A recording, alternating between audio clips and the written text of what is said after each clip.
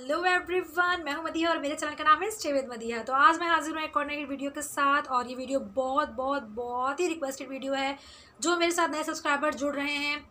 पुरानी वीडियोज़ उन्होंने नहीं देखी हैं तो बस उनका ये सवाल है कि बिल्कुल सिंपल सी जो है, हमें स्किन केयर बता दीजिए ऑयली स्किन के लिए ड्राई स्किन के लिए। तो देखो ऑयली स्किन वालों का तो मैं ये कहूँगी, बल्कि ड्राई स्किन वाले और ऑयली स्किन वाले दोनों के बारे में ये बात करूँगी कि गर्मियाँ हैं समर चल रहा है, आपको पता है, और जो जिनकी ऑयली स्किन होती है, उनके साथ तो बहुत ही प्रॉब्लम होती है। मुस्तकिल ऑयल आ रहा होता है, मुस्तकिल जो सीबम होता है, वो निकल रहा होता है फेस पर मतलब खुद को अजीब सा लग रहा होता है, चिपचिपाहट, और फिर आपकी स्किन जो है वो डल लगने लगती है डिम लगने लगता है कलर आपका। आपने फेस वॉश ज़्यादा नहीं यूज़ करना है मतलब फेस वॉश भी ज़्यादा यूज़ नहीं करना और फेस को वॉश भी ज़्यादा नहीं करना है। ऑयल स्किन वालों को कह रही हूँ, अगर बहुत ज़्यादा ऑयल आता है तो आपने ज़्यादा से ज़्यादा तीन दफ़ा फेस वॉश करना है और कम से कम दो दफ़ा, ठीक है? तीन दफ़ा से ज़्यादा आपने फेस वॉश यूज़ नहीं करना है।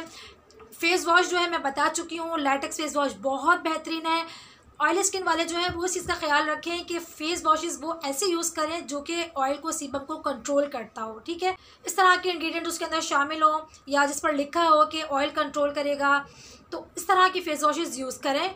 जो ऑयली स्किन वाले हैं और जो ड्राई स्किन वाले हैं, उनका भी मैं यही कहूँगी कि वो भी ज़्यादा अपने फेस को वॉश ना करें। उन, उनके लिए तो दो दफ़ा ही बहुत है फेस वॉश करना और उनके लिए सबसे बेस्ट जो रहेगा वो ये है मॉइस्चराइज़र के लिए वो हाइड्रोनिक एसिड यूज़ करें। सबसे best best best hydronic acid से बेस्ट कुछ भी नहीं है ड्राई ड्राई स्किन के लिए।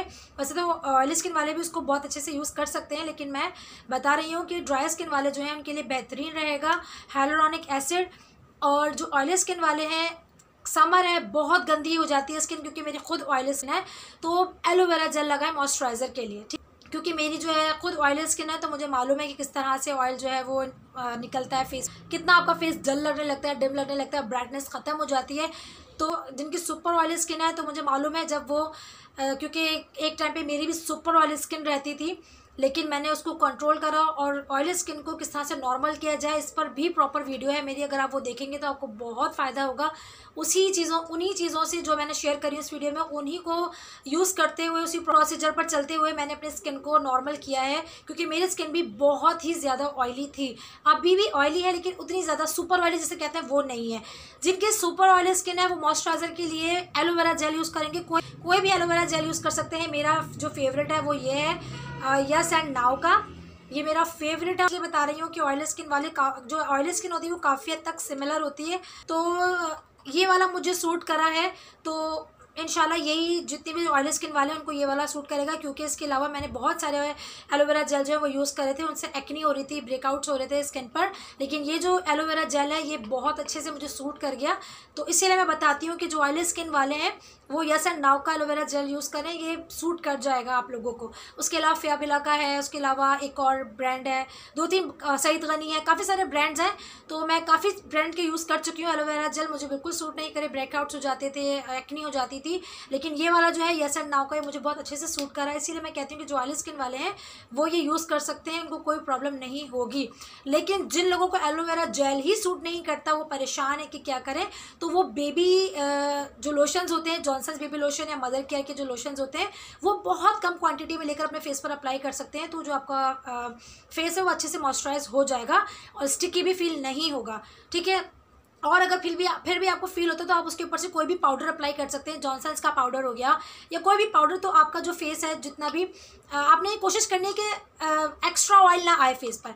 और मुँह धोने का अगर आप सोचेंगे इतना ज़्यादा क्यों मना कर रही हो? देखिए, ये अगर आप मेरी वीडियो जाकर देखेंगे तो उसमें मैंने सब कुछ बताया कि बार बार मुँह धोने से क्या होता है, कि हमारे स्किन को ऐसा फील होता है, जो ऑयली स्किन होती है कि ये तो ड्राई हो गई है स्किन को जो है ज़रूरत है ऑयल की तो वो एक्स्ट्रा ऑयल प्रोड्यूस करने लगती है स्किन पर। तो ज़्यादा मुँह धोने से ऑयली स्किन वालों, वाले समझते हैं कि ज़्यादा मुँह धोने से हमारा जो ऑयल है वो डिक्रीज़ होगा तो ऐसा कुछ नहीं होता और ज़्यादा इंक्रीज़ हो जाता है जो स्किन जो है, वो बहुत बुरी तरीके से बिहेव करने लगती है। जब आप ज़्यादा अपने फेस को वॉश करोगे तो वो और ज़्यादा ऑयल को प्रोड्यूस करती है कि कमी हो गई है कहीं ना कहीं, उसको ऐसा लगता है फेस पर ऑयल की। तो जो ऑयली स्किन वाले हैं प्लीज़ वो ज़्यादा फेस वॉश ना करें। ज़्यादा से ज़्यादा तीन बार और कोशिश करें, दो बार ही करें।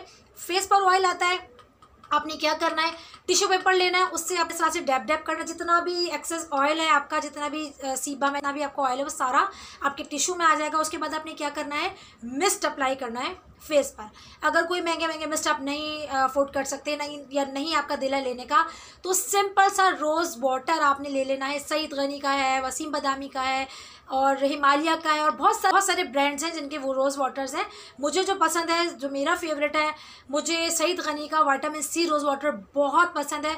तो बस आपने क्या करना है, आपने अपने फेस को जितना भी आपका स्वेट है, जितना भी आपका ऑयल है फेस का, उसको आपने अपने उसको टिश्यू की हेल्प से उसको ड्राई किया या ऑब्जॉर्व किया टिश्यू में, उसके बाद अपने मिस्ट को अप्लाई कर लेना है या रोज़ वाटर को अच्छे से फेस पर अप्लाई कर लेना है और ऐसे ही छोड़ देना है।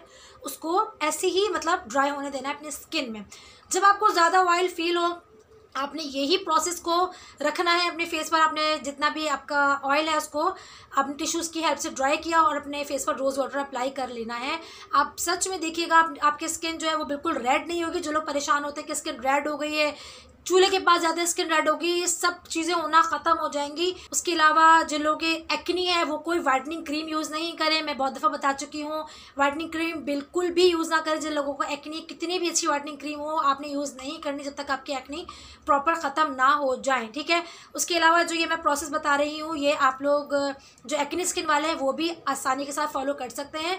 फेस वॉशेज़ के नाम यहाँ बता देती हूँ, फेयाबिला बहुत अच्छा है, जुनसुई का रेड वाला बहुत अच्छा है, जिनको एक्नी नहीं भी है ऑयली स्किन वाले, वो भी यूज़ कर सकते हैं।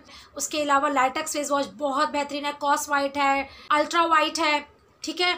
और जो आपके, जो फेस पर कंट्रोल करेंगे, उसके अलावा टी ट्री वाले आते हैं। टी ट्री वाले अगर आप फेस वॉशेज यूज़ करेंगे तो वो भी जो ऑयल को कंट्रोल करते हैं। कोशिश करें वो वाले फेस वॉशेज आप यूज़ करें, जिसके अंदर सलेसलिक हो या बेंजोल हो या टी ट्री हो तो ये वाले इंग्रेडिएंट्स जो है ना, ये खुद ही जो है जो एक्स्ट्रा ऑयल आता है, उसको कंट्रोल करते हैं। क्योंकि एक्नी जो स्किन वाले होते हैं वो उस तरह के क्लिनजर्स फेस वॉशेस रिकमेंड करते हैं डॉक्टर्स उन्हें ताकि उनके जो ऑयल कम होगा तो डर्ट आपकी तरफ़ अट्रैक्ट नहीं होगी क्योंकि जब फेस पर ऑयल होता है तो डर्ट जो होती है पॉल्यूशन जो होती है आपके फेस पर आती है ओपन पोर्स होते हैं उनके अंदर, वो चली जाती है, फिर वो ब्लैक हेड्स और वाइट हेड्स की शक्ल अख्तियार कर लेती है और फिर एक दिन वो एक्नी बन जाती है।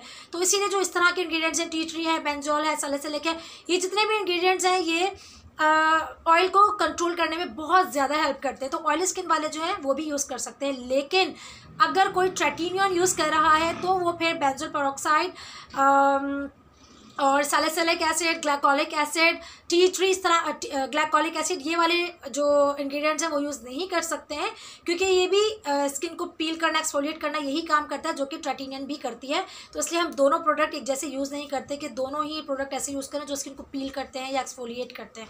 तो इसलिए मैं बताती हूँ कि ट्रेटिनियन के साथ बेंजोल पेरोक्साइड ग्लाइकोलिक एसिड और सेलेसिलिक एसिड इस तरह के जो इंग्रीडियंट्स हैं वो यूज़ नहीं करना है। हेलोनिक एसिड आप यूज़ कर सकते हो। हेलोनिक एसिड के लिए तो थम्स अप है वो आप ऑयली स्किन हो, आपकी आपकी ड्राई स्किन हो सब पर सूट करता है। लेकिन जो सुपर ऑयली स्किन वाले हैं, वो उसकी क्वांटिटी थोड़ी कम लेंगे और फिर फेस पर अप्लाई करेंगे और रात में करेंगे। दिन में नहीं करेंगे बिल्कुल भी, क्योंकि दिन में इशू हो जाएगा, उनको प्रॉब्लम हो जाएगी। तो दिन में जो है, वो सिर्फ़ और सिर्फ़ एलोवेरा जेल ही यूज़ करेंगे। और जैसा कि मैंने बताया, जिनको एलोवेरा जेल सूट नहीं करता है तो वो जॉनसन बेबी लोशन या मदर केयर जो बेबी लोशन होते हैं, वो बहुत कम क्वांटिटी लेकर फेस पर अप्लाई करेंगे। और उसके ऊपर से बेबी पाउडर ही अप्लाई करना है, कोई कॉम्पैक्ट पाउडर अप्लाई नहीं करना है। कहीं आप सोचें कॉस्मेटिक की कोई भी चीज़ मैं अप्लाई कर लूँ तो उससे एक्नी हो सकती है, क्योंकि समर चल रहा है, मुझे मालूम है क्योंकि मेरी सुपर ऑयली स्किन रह चुकी है और अभी भी ऑयली स्किन है तो मुझे मालूम है क्या क्या इशू का सामना हो सकता है हमें। तो आपने कोई भी बेबी पाउडर जो होता है उसको आपने डैप डैप करके पूरे फेस पर अप्लाई करना है। जितना आप कंट्रोल कर सकते हो ऑयल को, उतना आप करो तो एक्नी से दूर रहोगे ब्लैक हेड से वाइट हेड से दूर रहोगे। ड्राई स्किन का बता दो माइल्ड फेस वॉशेज यूज़ करने आपने, जैसे कि हिमालय का है हिमालय की बहुत अच्छी रेंज है माइल्ड फेस वॉशेस के लिए। उसके अलावा वाई सी के फेस वॉशेस है, बहुत ही माइल्ड है। फियाबिला के हैं गोट मिल्क वाला है वो बहुत माइल्ड है। तो माइल्ड फेस वॉश आपने यूज़ करने हैं ड्राई स्किन वालों को बता रही आपने भी यही करना है, आपने तो लाजमी मॉइस्चराइजर अप्लाई करना है और हेलोरॉनिक एसिड से होगा कि बहुत अच्छे से मॉइस्चराइजर हाइड्रेट कर देता है आपके स्किन को। तो इसलिए आपने भी इस चीज़ का ख्याल रखना है और ऑयली स्किन वालों की ज़्यादा बात मैं इसलिए कर रही हूँ कि ऑयली स्किन वालों की बहुत रिक्वेस्ट आई थी कि मुझे पता है बहुत ज़्यादा परेशानी होती है ऑयली स्किन वालों को। ड्राई स्किन वाले तो फिर भी मैनेज कर लेते हैं। अगर अगर उन्होंने एक मॉइस्चराइजर अप्लाई करा उनको नहीं, उन्होंने दोबारा अप्लाई कर लिया, दो तो तीन दिन बाद भी अप्लाई कर लेते हैं तो उनको इतना ज़्यादा इशू नहीं होता। लेकिन इशू होता है ऑयली स्किन वालों का, क्योंकि वो ज़्यादा मॉइस्चराइजर भी अप्लाई नहीं कर सकते हैं। ऑलरेडी ऑयली स्किन है मॉइस्चराइजर अप्लाई करने से और blackheads whiteheads acne बहुत सारी प्रॉब्लम्स का सामना करना पड़ता है। तो इसलिए आप लोग इस वीडियो को गौर से देखिएगा। सब कुछ को जो मैंने बताया, बिल्कुल ऐसे ही आपने फॉलो करना है चीज़ों को। इन ताला आपकी स्किन रेड भी नहीं होगी। और देखिए, जिन लोगों की स्किन बहुत ज़्यादा रेड होती है तो उन्होंने ये करना है सूदिंग लोशन अप्लाई करना है ठीक है? सूदिंग लोशन अप्लाई करना है एलोवेरा जेल के बजाय सूदिंग लोशन अप्लाई करना, जब आप किचन में जा रहे हो तो आपने तब भी soothing lotion soothing lotion apply करके किचन में जाना है। सूदिंग लोशन मैं आप लोगों को दिखा देती हूँ। जैसे कि ये है स्विस नेचुरल का सूदिंग लोशन है। इसके अलावा सॉफ्ट टच का भी आता है और बहुत अच्छे अच्छे ब्रांड्स के आते हैं सूदिंग लोशन तो ये बेहतरीन रहता है। रेड स्किन है इची स्किन है आपकी और बहुत ज़्यादा गंदा बिहेव करने लगती है। अगर आप किचन में काम कर रही होती है तो बहुत रेड हो जाती है, आपको खारिश होने लगती है स्किन पर। सबसे बेस्ट ये है, जब आप किचन में जा रहे हो आपने अपने फेस को क्लीन करा, अच्छे से टोनर की हेल्प से और आपने सूदिंग लोशन अप्लाई कर लिया। ठीक है, उसके बाद अपने सारे किचन का काम किया, बाहर आए, आपने अपना फेस वॉश किया, उसके बाद आपने फ़ौरन से टोनर अप्लाई करा टोनर के बाद आपने एलोवेरा जेल अप्लाई कर लिया। ठीक है, अगर एलोवेरा जेल सूट करता है तो सूट नहीं करता है तो मैंने जैसे बताया, कोई भी बेबी लोशन अप्लाई करो, उसके ऊपर से पाउडर अप्लाई कर ले, अगर आपको ऑयल फिर भी आ रहा है तो। सूदिंग लोशन बेस्ट है, जिनकी रेड हो जाती है स्किन या जिनको इची स्किन की प्रॉब्लम होती है उनके लिए। उसके अलावा जो मैंने फेस वॉशेस बताए हैं जुनसे का रेड वाला है, फिया बिला, ये भी काफ़ी हद तक इन प्रॉब्लम्स को जो है कम करता है। अगर आपकी इची स्किन है या रेड है तो उसको ये काफ़ी अच्छे से हील करता है।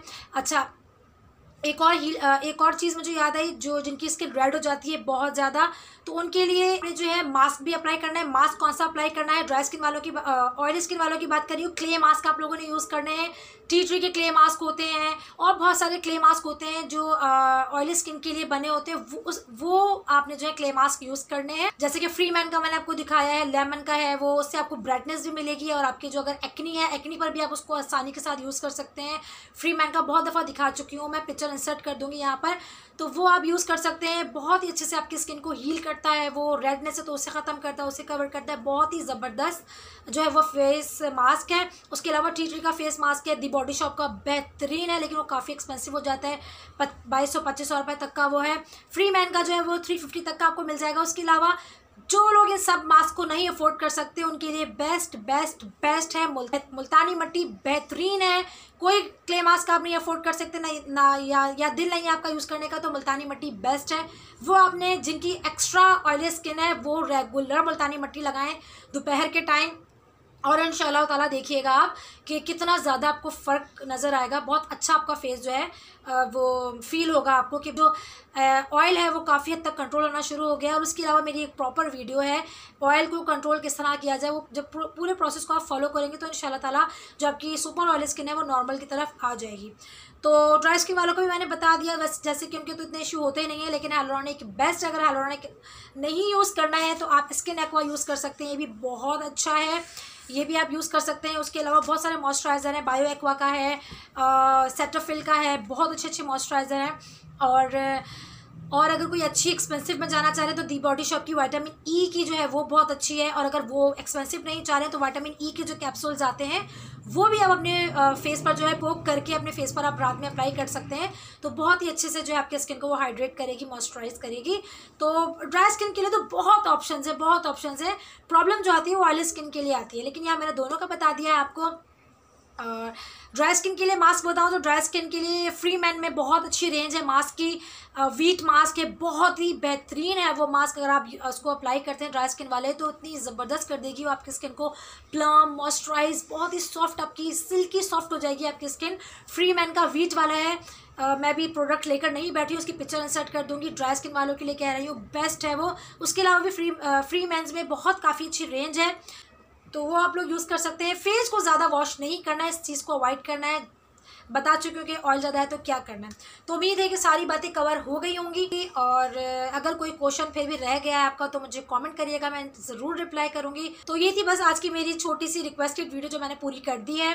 टाइम निकाल कर फाइनली आप लोग देख रहे हो। पसंद आए तो पता ही क्या करना है, इस वीडियो को लाइक करना है कमेंट करके बताना है कि वीडियो आपको कैसे लगी और मेरे चैनल को सब्सक्राइब करना, साथ में बेल आइकन है टिंग टिंग टिंग उसको प्रेस करना है। फिर मिलती हूँ नेक्स्ट वीडियो में, तब तक के लिए अल्लाह हाफिज़